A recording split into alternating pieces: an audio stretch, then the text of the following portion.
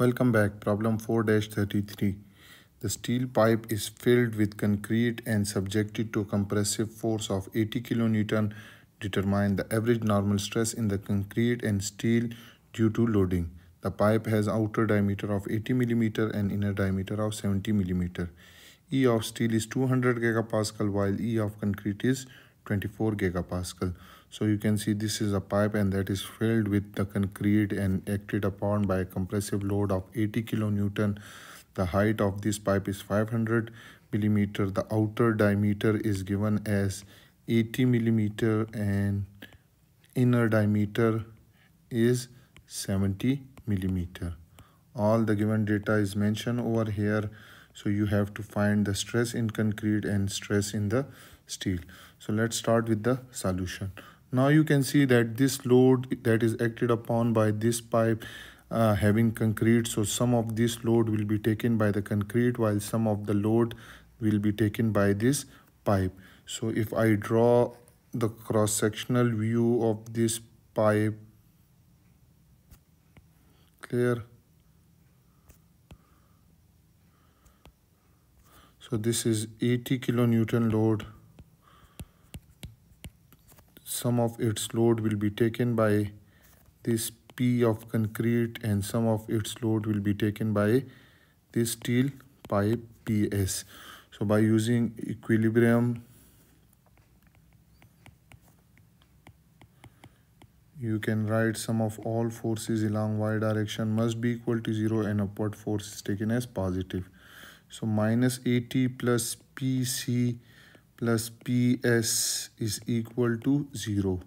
So PC plus PS is equal to 80 while PC is load taken by the concrete and PS load is taken by this steel pipe.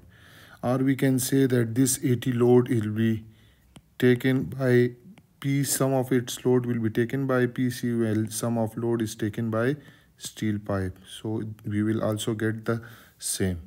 Now you can see that this loading is acted upon this so uh, to, so de deflection or deformation in steel will be equal to deformation in concrete. And we know that deformation is equal to PL divided by A into E. So for steel it will be equal to ps into length is same so i will write l divided by a of s into e of s is equal to p of concrete into length divided by area of concrete into e of concrete. So p of s l l will cancel on both sides. So p of s area of this solid pipe. So it is equal to pi by 4 d outer which is 0 0.08 square minus d inner which is 0 0.07 square into E of steel which is 200 gigapascal so 200 into 10 to the power 9 is equal to PC divide area of concrete which is this having diameter inner diameter which is 0. 0.07 so area of inner diameter of con uh, area of concrete will be equal to 0 pi by 4 into 0 0.07 square into E which is 24 gigapascal. So 24 into 10 to the power 9 so when you solve this you will get P of steel is equal to PC into pi by 4 0 0.08 square minus 0 0.07 square into 200 into 10 raised to power 9 divide by pi by 4 into 0 0.07 square into 24 into 10 raised to power 9 it will cancel with this and if you further simplify it you will get P of steel will be equal to 2.5510 P of concrete or PC.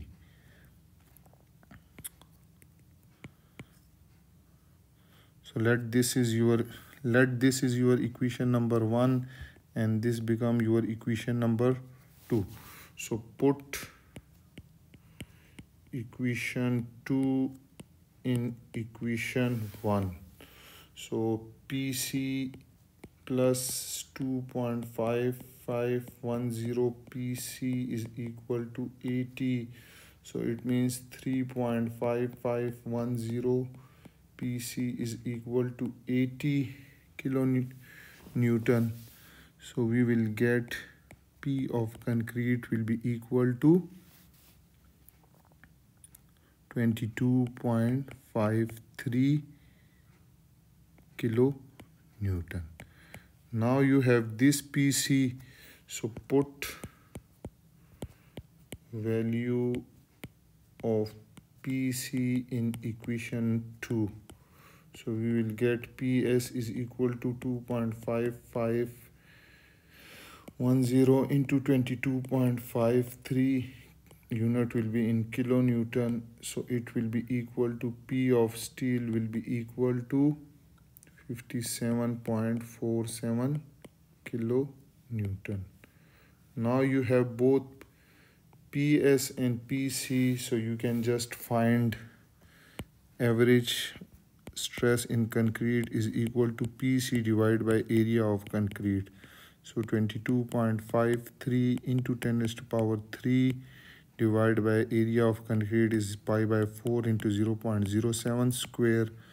So again if you further simplify it you will get the answer it will be 8 5.85 mega pascal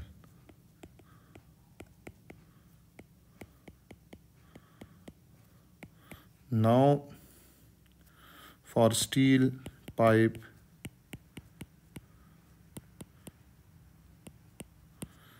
stress in steel pipe is equal to PS divided by AS. So PS is 57.47 into 10 to the power 3 divided by area of steel which is pi by 4 into outer diameter square minus inner diameter square. So when you solve this you will get average stress in steel pipe comes out to be uh, 48.8 megapascal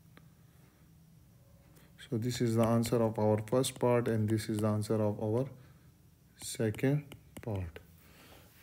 And that was all about this problem 4-33 i hope you have enjoyed this video. Those who are new to my channel then subscribe it and press the bell icon to get the information about latest video.